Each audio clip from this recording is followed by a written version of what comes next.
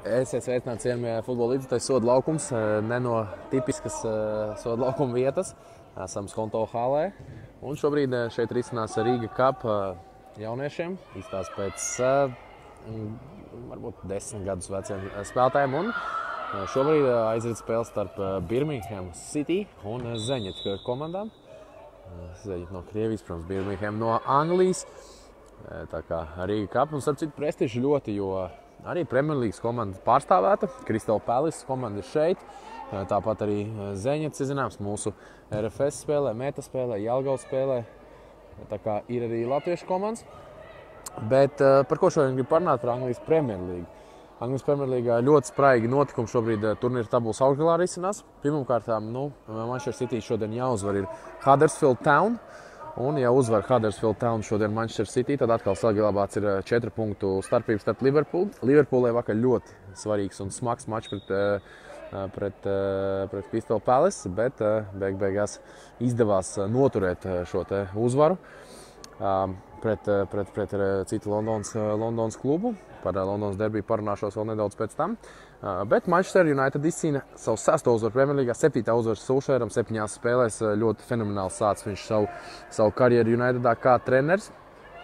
Un, tas nozīmē šobrīd to, ka, ka starp Tottenhams Hotspur komandu, starp Spurs, starp Chelsea, starp Arsenal un starp Manchester United viens šķir četri punkti. Nu, tas nozīmē, ka ir ļoti atvērta cīņa arī par šiem Champions League eh, vietām. Šīs četras komandas, manuprāt, cīnīsies par 3. un 4. vietu, tāpat arī par 5. un 6. Un, uh, tomēr man šobrīd liekas, ka titulu saglabās uh, vai nu Manchester City, vai arī pirmo titulu Premjerlīgā izcīnīs Liverpools vienība.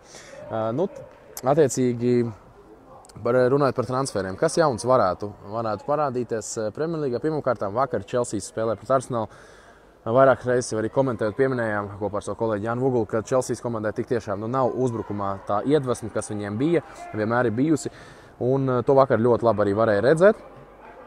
Un šobrīd pietrūkst uzbrucējs, lai gan ir uz maiņas Žiru, kurš sev ir pierādījis Premjerlīgā, bet ļoti neusticās viņam Sarī un uzlaiž tikai pašās teiksim, spēles beigās. Šobrīd runāts, ka Iguēns varētu pievienoties arī komandai un, attiecīgi, Morāta pamest komandu, doties jau uz Atletico Madridu vai Seviļu. Vai tas notiks, to mēs e, skatīsimies, protams. Redzam, šeit Birmingham City dodas uzbrukumā. Un gāzes e, spēlētājs un rāda tiesnesis, ka 11 metru solis arī nav.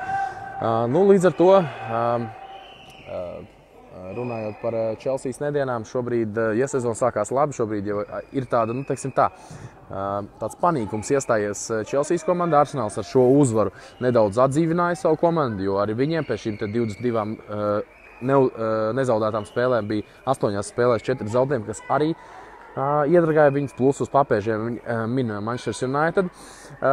Ja mēs izējām par citām komandām, šobrīd ļoti sarežģīta situācija ir Tottenham Hotspur, jo Harijs Keins dodas uz uz teiksim, tā, lazareti. Viņam ir trauma, viņš līdz marta sākumam būs izkritis. Sons gan dodas, viņš dodas uz Āzijas kausu. Dodas uz Āzijas kausu ar Dienvidkorejas izlasi kā kapteinis. Līdz ar to komandai palīdzēt nevarēs. Un, attiecīgi, jau ja, tad, jāuzņemās uz sevis visi ir Deli Alī šobrīd un citiem vadošiem spēlētājiem Spurs komandā, Arsenal komandā. Principā Abumajangs turpina ar Lakazetu sev pierādīt Premjerlīgā. Chelsea komandai noteikti nepieciešams ir uzbrucējs. United komandai jāturpina vienkārši tādā stilā. E, kas attiecībā par Liverpoolu un City? Liverpool sāk buksēt, vakar ielaida trīs vārdus pret Crystal Palace. Un uh, Crystal Palace parādīja to, ka viņi ir viena no tiem šiem te nākamajiem zem šī top 6, kas ir ļoti bīstami pretiniekiem. Un to arī vakardienas spēle apliecināja. Un tāpat arī vakariem septiņi, septiņi vārdi bija tajā mačā. Tāpat arī Wolves pret Leicester City guva septiņus vārdus. Mums, eh, kā, kas pieslēdzās varbūt tās tagad, šeit man aizmugurē Rīga kapa izcīņa. Nu, varētu būt kāds U10 vecums, U11 eh, spēlē eh, Zeņģis pret Birmingham City. Šajā pašā arī vecumā spēlē tāpat arī Crystal Palace, kur arī spēlē Premjerlīgā. Tā kā šodien Cityam obligāti jāuzvar Huddersfield, nedrīkst zaudēt punktus, bet Spurs jau ļoti svarīgs mačs pret Londonas klubu Fulham. Un, ja izdodas, eh, izdodas Fulumai atņemt punktus, tad nu, vēl vairāk eh, ir sāsināta cīņa par šo te šo 3. 4. vietu, un, protams, par 5. 6. arī.